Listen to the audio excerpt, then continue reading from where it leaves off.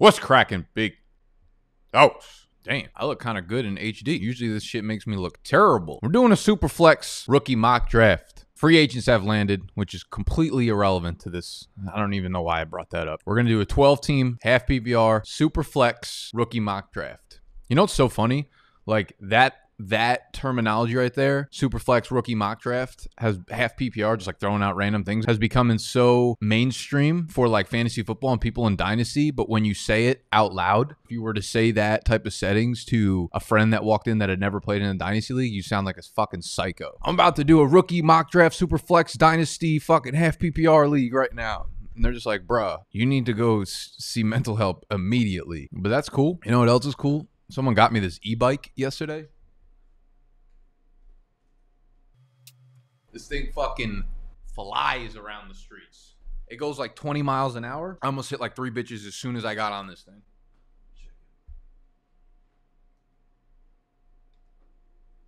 Woo!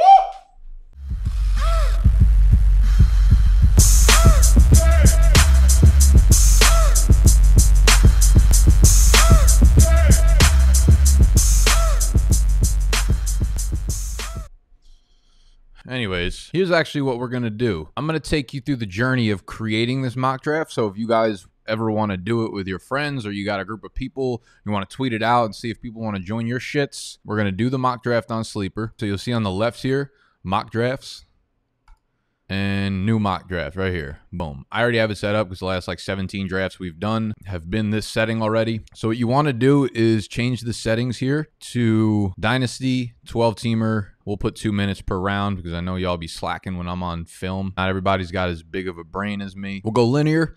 You know, you can make it snake if you want, if you're just kind of practicing. Like when we are gathering the ADP data for everybody, whether it's snake or linear, doesn't matter because the same players are being picked at the same spots. But if you want to do it realistic, linear means, you know, when you have the 101, you also have the 201, you also have the 301. So if you're new to Dynasty and you've never done a rookie draft before, that's how they work. It's like the NFL draft, where if you have the first overall pick, you're also going to have the first pick in the second round. Roster settings. This is what you got to do. If you want to make it like a realistic rookie draft, you want to do it four rounds. You want to set it to quarterback, running back, wide receiver, tight end. You don't want to make them all flexes. Otherwise, it gets weird on sleeper, and every player in the pool is kind of linked together. So that's really it. And then you can copy the invite link from here from the settings tab. And I'm going to throw it into our Discord and I'll throw it onto Twitter. And if you want to join our Discord, you could do so by signing up at patreon.com forward slash BDGE. Morning Peasants. Today's YouTube film is me making fun of you while you draft in this super flex rookie mock. First come, first swerve at everyone. Drop the link go on to Twitter. I'll do it from the BDGE account. Make sure you're following BDGE, BDGE underscore underscore. Tweet and retweet Animals House, little shits. And we're back to sleeper. Now we just wait for this to fill up. Man, I got my first round of vaccine shots. Oh, I got to make sure I'm in this bitch. Let's go to 10. Actually, no, let's go to 7. If I tweet these out or if you're in the Discord, make sure you hop in them quick because they fill quick. We got the whole fucking army barking. Barking. We'll go with the, the 107 spot. I got my first round of vaccine shots yesterday and like, it's fine. It's whatever. My arm's a little bit sore today. I ain't going to fucking be dramatic about it. But afterwards, they're like, yeah, you come back in three weeks for your second round of shots. And I'm thinking, whip out the TI 83 calculator, you know, crunch some numbers. If so facto, three weeks from yesterday would put me at the day before the NFL draft. And I'm like, the NFL draft's a big weekend. We're trying to stream for like 38 straight hours, man. And everybody who gets the second vaccine shot usually gets very sick about you know 24 hours or 18 hours after their first shot and i'm like bro we can't be doing this like i'm just gonna i'm just gonna i'm not gonna get the vaccine because i'm trying to stream for y'all really case in point that's really what what i'm getting at right now the love i have for you guys transcends a pandemic all right, what do we got? Trevor Lawrence at the 101, Justin Fields at the 102, Ja'Marr Chase the 103, Najee Harris 104. I have run a lot of mocks since the pro days have settled down, and there's a few things that I have noticed. I mean, Trevor Lawrence continues to go 101. Justin Fields is an interesting case here because we've seen a bunch of reports, we've seen a bunch of rumors that he will likely not be one of the top three quarterbacks picked. Uh, I'm sitting here at the 107. All the top quarterbacks are off the board. The number one wide receiver is off the board. Najee Harris is off the board. I'm debating between Travis Etienne and Rashod Bateman. But because Rashod Bateman came in at like six foot, 190 pounds, I'm a little bit more skeptical on Rashod the God uh, in terms of his overall ceiling. I still think he'll be a high end wide receiver too, you know, um, but the, the alpha status is a little bit in question. I still love him as a player, though. We're going to go with Travis Etienne. Came in at 215 pounds, ran that 4 5 flat 40 yard dash. So he's got all the makings to be a D'Andre Swift or, or, or, a Dalvin Cook type player, Alvin Kamara type player. The upside is very, very real. You know, him coming in at 215 tells me that he could be a three down workhorse for sure, for sure, for sure. I think we kind of know the draft order at this point in the NFL draft. We have Trevor Lawrence going off at one, Zach Wilson very likely going to the Jets at two, and then probably Mac Jones at three for San Francisco. That begs the question, you know, how far does Justin Fields fall? Does someone trade up to the number four pick to the Falcons to to grab him there? I I, I would assume the Falcons trade bike and they fucking better. I'm gonna lose my shit live on air. If the vaccine don't kill me, the fucking Falcons might. So Justin Fields becomes, you know, an interesting player in the fact that the draft capital's not there. But realistically, you know, any quarterback picked in the top 10 is to have the same leash for the most part in the NFL. So it's not really a big drop off. If somehow Justin Fields drops to like fucking pick 24, which will never happen, you know, then we've got some concern. So Justin Fields still at the 102, completely fine with that because his rushing upside, his rushing floor, as I said in a video last week going over the pro days. If you missed that, I uh, talked about all the, the biggest winners and losers from the pro days. Justin Fields is a guy that could be like Jalen Hurts with more pocket presence, uh, just a better arm overall. I really like Justin uh, Justin Fields, right? 15 rushing touchdowns over the last two years, uh, a lot of rushing yards. So that's just what he brings to the table here. Then you have Ja'Marr Chase, who absolutely blew out his pro day. And I think a lot more people are becoming more and more comfortable with Ja'Marr Chase at the top of this class. Whereas a lot of the mocks prior to the pro days, we saw Ja'Marr Chase landing more so in the 105 to 107 range. But now I think people are liking, you know, Najee Harris didn't test. Travis Etienne came in a little bit slower than most people expected. Javonte Williams, same thing. All of the wide receivers, the first tier wide receivers that were near Ja'Marr Chase, either didn't test or or were disappointing in terms of measurables or athletics. So you're looking at Ja'Marr Chase really hopping up the board and becoming the most comfortable pick realistically at the skill player position. So I've seen Ja'Marr Chase continuously go in that like 103, 104 range, which I think is is probably the right move. He's a, he's a fantastic prospect. He didn't come in in that alpha size, right? He came in more so in the two uh, 200 pound range. So I'm a little bit more, a little bit more skeptical. But like you know, you're you're over 200 pounds, that's fine.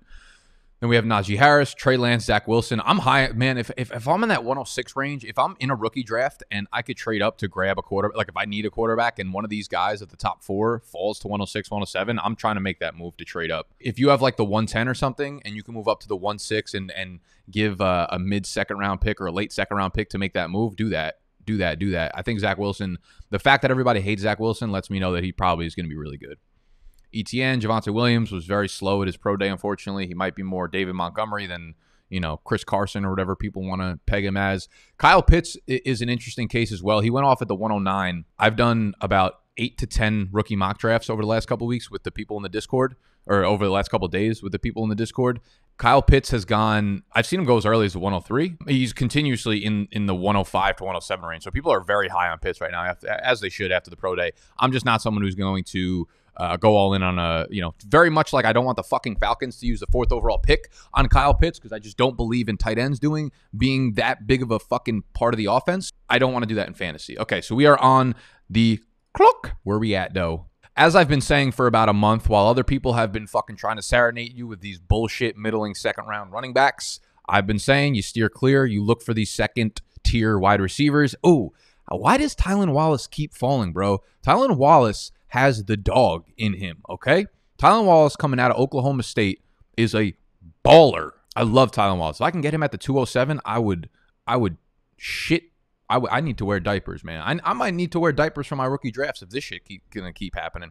So Kyle Pitts, listen, if it's a tight end premium league, I'm cool with that. Uh, I think Mike, you know, Mike me up made a very good point on Twitter the other day. Let me. If you ever want to see if someone said something specific, this is how you do it on Twitter. You type in the word that you're looking for, and then from semicolon the person. Nope, I used two P's by accident. Nope, now I did one P. What's wrong with me? You go to latest. People see the word tight end premium and they go all out when in reality that scoring format will only favor target hogs and should devalue every other tight end.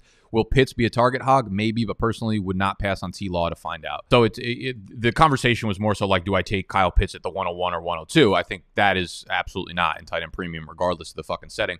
But the overall point being with tight end premium, it's very much like I get asked this question a lot. You know, does uh, do quarterbacks become more valuable if it's like a six point passing touchdown league as opposed to a four point passing touchdown league? And my answer to that is no, they don't become more valuable. The rankings change within the tiers themselves, right? Like a uh, obviously a quarterback who's going to throw more touchdowns is going to be more valuable than a rushing quarterback in the six point per passing touchdown league. And that's the same case with tight end premium. Okay. Like it doesn't make them more valuable as compared to other positions. It separates the guys who have a lot of receptions, right? On like a raw points basis, we don't you don't you know draft running backs over wide receivers because they score more points on a raw basis. Like yes overall they probably do. The reason you want elite running backs is because the point differential between an elite running back in fantasy and like a middle tier running back right? The rb1 or rb2 overall compared to the running back 11 or 13 is a it's a league winning gap where for wide receivers that's almost not ever the case on a on a year by year basis and that is the case for tight end premium it's like tight end premium doesn't make the position overall more valuable it makes the guys like Travis Kelce who get eight, ten catches a game way more valuable than the tight end five, than the tight end seven. It separates them, right? Because a lot of the guys in like the tight end four to seven range are only there at the end of the year because they caught five, six touchdowns in a tight end premium league, the the gap between the guys who actually catch a lot of balls and those middle tier guys who you could say, oh, he finished his tight end four, but he just caught a lot of touchdowns is huge. Okay, that's that's the overall point there, and I think it was a good one. Uh, by Mike to keep that in mind. So with Kyle Pitts, like tight end premium, of course, he's going to move up a little bit because he's a weapon and he should be super involved in the offenses. I don't think we need to go crazy about it. Okay, so you had Tylan Wallace, Seth Williams, Elijah Moore. Damn, they keep. You know what it is? Elijah Moore keeps falling down because Sleeper has their ADP like kind of shot right now. Trey Sermon, love that. I think he got a little bit of hype from the video I put up a couple days ago, the pro day video. Chuba Hubbard, eh. Kadarius Toney, eh. Tamorrion Terry. Things are getting interesting in the third round. Man, you want to talk about someone falling off? Jermar Jefferson. Let's look at some pro day numbers. First of all, I want to talk about Tylan Wallace, who's just just just not getting the credit, man. He just he just he just he just ain't getting what he deserves. Who's the other one we're talking about? Jamar. Oh, oh, oh, I'm on the clock. I'm on the clock. Ah, Elijah Mitchell got sniped from me at 3-5. You guys are you guys are smartening up. You guys are smartening up, baby. Wide receiver, tight end. I don't want to draft a tight end really because the top three are off the board. That's fine. Um, Kyle Pitts, Brevin Jordan, Pat Freiermuth. Pat Freiermuth did not test the at his pro day because he's going through uh, recovery from a shoulder surgery, so we don't really know his athleticism. Brevin Jordan did; it wasn't great. So I'm looking at wide receivers. I don't love D'Wayne Eskridge because he's like 45 fucking years old and it took him a long time to break out, but the kid's really good and he's really fucking fast. I'm not mad about taking a shot on him in the third round. The other guys I would be considering, y'all know I like Rhamondre Stevenson. He ran pretty fucking slow at his, at his pro day though. He's like a he's like a high four six guy, which is usually a problem at the NFL level. The other guy I really like down here is Javian Hawkins. So I'm de- I'm deciding between Rhamondre Stevenson, Javian Hawkins, and D'Wayne Eskridge. This would probably be dependent on what my team makeup is for uh, like for my actual dynasty roster. You know, am I looking for a, a, wide receiver or a running back, or do I want more depth at the certain position or whatever? And obviously, draft capital is going to matter, so these rankings will move up and down a lot. Go with my boy Rhamondre. Fuck it. Fuck it. Who are we looking at? I don't fucking remember. Oh, Jamar. Yeah, Jermar Jefferson just had an absolutely abysmal, abysmal, abysmal profile because his his calling card was his calling card was workhorse size and and speed and breakaway speed. Okay, and he came in with none of that. And this was my problem with him when I was watching him on film. I was like, he's not elusive whatsoever. So depending on what he runs at his 40, like that's going to be the difference maker for me and whether or not I actually like him as a rookie prospect and whether or not I'm going to use draft capital on him because as an NFL running back, you need to make guys miss, right? You need to make guys miss at the next level. Otherwise, you're just a fucking jag and eventually you'll get replaced. You can make guys miss in one of three ways power, elusiveness, speed. And Jermar Jefferson is not elusive, right? I, have I've referenced this stat many times. Per sportsinfosolutions.com, they're a deeply analytical website. His broken tackle rate of 9.8% ranked 110th out of 114 running backs in the NCAA. He just doesn't have wiggle, but he has great speed and he can do one cut, or so we thought. So he doesn't have the power because he weighed in at five, uh, 206 pounds. He supposedly his playing weight was like 217 218 so we're like oh he's got workhorse size. He could be a three down back at the next level. And he drops down to 206 and we're thinking okay fuck 206 like that's a big drop off from 208 to 218 to 206 maybe he makes up for it with elite breakaway speed. 465 like bruh bruh jamar give us something to work with sir give us fucking something to work with Good lord! And you see his best comparables, Jamaal Williams. They also had his weight still at 217 when they ran the initial. I, I talked to Cody, who runs the team over there at at uh, the content team over there, Player Profile. I think they ran the best comparable player when they had his data in at 217, but I'm not going to, you know, pick apart the nuances here. Regardless, Jamaal Williams, would he be any good if he wasn't on the Packers, like, and they didn't just give him the role that he had. Like when he goes, he, he's playing in Detroit. Like he's gonna be fucking terrible. Regardless, Jermar Jefferson, huge loser from the pro day. Tylan Wallace, bro. Oh, they don't have his workout in here yet. Oh, what's going on here, player profiler? Damn. Okay, so Tylan Wallace. Let me see what I could find. Tylan Wallace. When you're looking for fucking pro day times and 40 times, do not look at anything that says unofficial, please. There you go. Official results. Jim Nagy usually has like really, really, really good official times. Official results for uh, Tylan Wallace, 448, 452. Okay, so that's going to come in. That's not too, that's actually not, it's not blazing speed, but the rest of his athleticism is pretty good. So he's coming in at almost six foot, uh, 194 pounds. He was just a guy, he was a mega producer at college, dominator rating in the 93rd percentile, big play guy, 16.3 yards per reception, big college target share, breakout age at 19. Tylan Wallace is a guy that uh, kind of reminds me of like a Calvin Ridley or a Tyler Lockett. He's just got that dog in him, and he makes plays all the time. So uh, Tylan Wallace is like that second tier wide receiver guy that I would I would be taking over Amon Ra. I would be taking over Dyami Brown, especially after Dyami Brown's fucking Dyami Brown is another dude. Everyone just lost at their pro days. Like everyone this year lost. You're supposed to be running good times, and you guys stink. You guys all stink. I know Mike Mike loves Dyami Brown, but I'd imagine he's not as high in him after his 40 time came in. See what they got him here at. Damn, they didn't update fucking Dyami either. There's a few guys they didn't update. I know Amon Ra came in slow as shit, four six six. You really do just hate to see that. You just hate to see it. Um, so these middle tier of wide receivers, Tylan Wallace, Elijah Moore should be up above these guys in my opinion. Seth Williams is another guy who I'm glad he's starting to get a little bit of hype. Uh, he's very athletic, very big. He was the alpha there in Auburn, sharing the field with Anthony Schwartz. But most of the time, I see him going in like the three two to three five range, which is an easy smash there. He's in that second tier of wide receivers. Trey Sermon is the one guy I'm getting much, much higher on based on his pro day. And we talked about this in the pro day video. Let's see if they put in a. a I think his comp is going to come in at Josh Jacobs, James Robinson, or Kareem Hunt. Let's see it. Ah, they don't have it up yet. I just love that burst and agility score for a guy that's 215 pounds. So Sermon's a guy that's slowly rising up my draft board, right? And I've always said like, oh, we don't like to go off small sample sizes, but listen, that's like I, when when when I'm talking about like that, like it was a concern for me with Josh Jacobs. Like he he wasn't a guy I wanted to use the 101 on a couple of years ago because of the small sample size.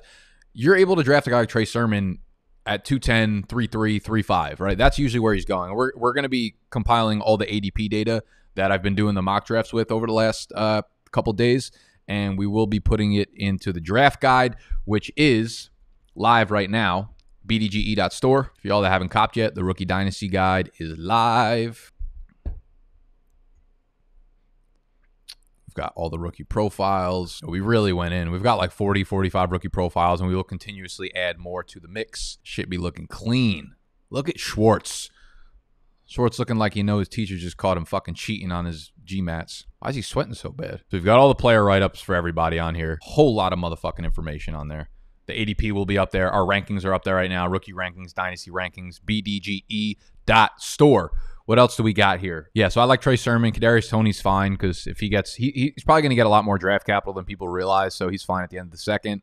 Tamorrion Terry, loser from his pro day. Michael Carter, a little bit of a loser. Jamar, loser. Elijah Mitchell, huge winner. I'm really excited to see his ADP. I know he's going to rise up probably a round, if not a round and a half. Okay, I'm on the clock for the fourth round. Okay, so my boy Javian Hawkins is still there. Let's go. I've been getting so much fourth round Javian Hawkins. I will have more fourth round Javian Hawkins than I will second round Kenny Gainwell. I can tell you that. I can tell you that because let's look at Javian Hawkins.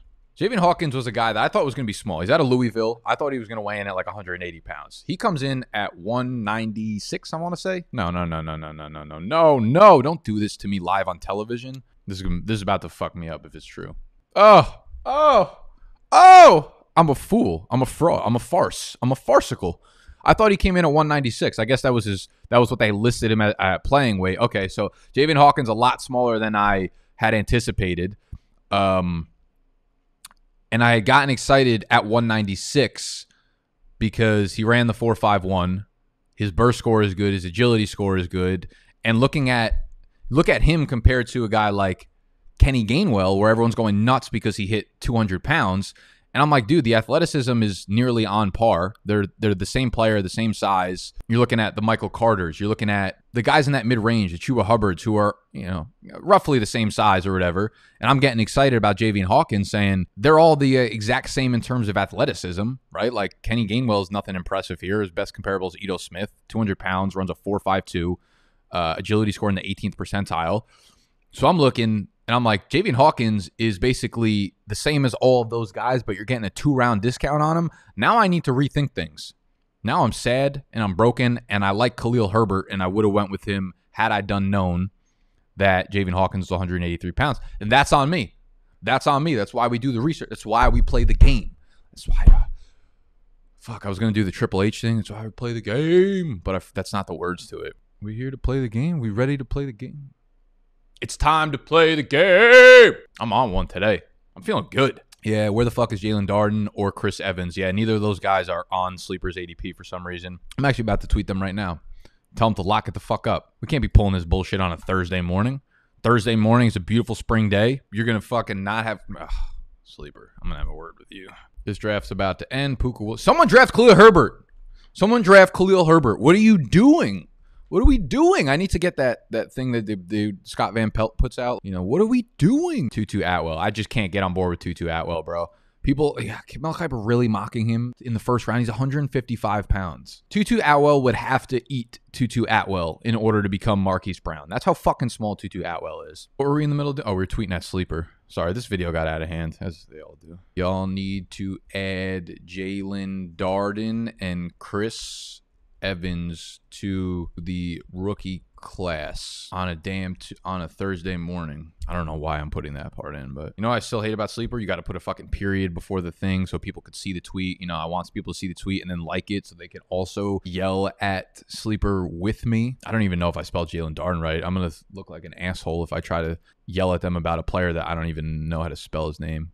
Oh yeah, I spelled that way off. A E O A E O. I was close. Skirt. All right. Well, y'all can thank me later that you can now draft those two players. That is the four round Superflex rookie mock draft. I hope that was helpful. I will put the link to the draft board in the description of the video, as well as maybe pin it in the comment section so that you guys can kind of check it out at any time. But the ADP, the new ADP, based on probably 15 to 20 new rookie mock drafts, will be available in the draft guide as soon as, you know, the end of this week, probably. Y'all can cop the draft guide at bdge.store. Everything is on there. Merch is on there. Patreon subscriptions are on there. The draft guides are on there. So love y'all for any support. If you do purchase the guide and it's acting a little bit funky, just clear your catch, clear your cookies, clear your fucking brains for a little bit, and then come back. You know, cook yourself some fucking lasagna, get some calories in your system I know how you get when you're hungry. Barilla. What's the pasta? What's the pasta company? Barilla. Y'all should clip that and use it as an ad. BDGE X Barilla. The collaboration that nobody asked for and nobody needed. I'm out. Hit the thumbs up if you enjoyed. We're doing dynasty rookie shit all all spring long. Goodbye. Let's go.